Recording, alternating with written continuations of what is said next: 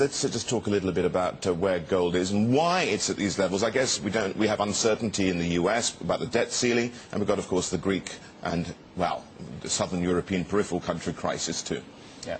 Um, gold is a, a, subject that we like, and we uh, recently published a very detailed uh, production report on uh, gold market. And because I, I think uh, in the market, a lot of people know the demand side of the story already. We, ha we have the uncertainties globally, and uh, we, we have the you know QE3 becoming an increasing scenario, and um, all sort of uncertainties. So that side is uh, pretty well known.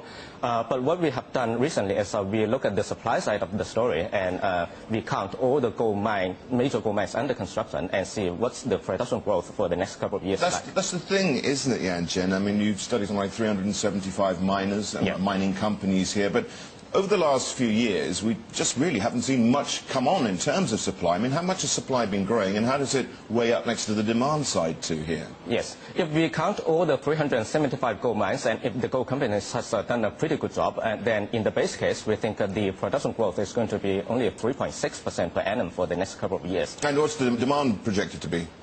And uh, the demand, we, we, we did a pretty uh, simplistic uh, view on that. Uh, even if uh, we keep the whole demand on a flat line basis, we think the gold market is still going to be um, in a deficit uh, for the next couple of years. Just given that the central banks are now back buying gold massively.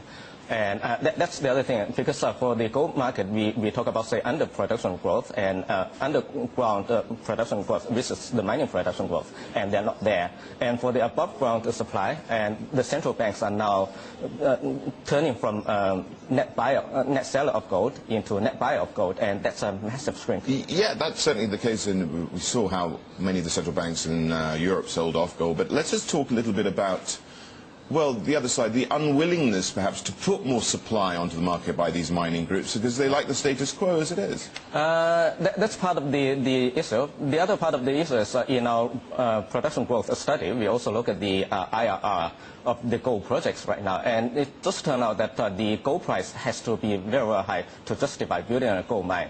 To give an, an idea, for a brownfield project, uh, you need to talk about the gold price to be, long-term gold price to be as high as $1,400 per ounce. That, that's the big barrier to entry is what you're yes, saying here. Exactly. And so we're talking about, and do you see, I mean, let's have a look at your price targets here as well. Okay, let's have a look at uh, the end of 2011, where will gold be, and where will gold be in five years, for instance, too?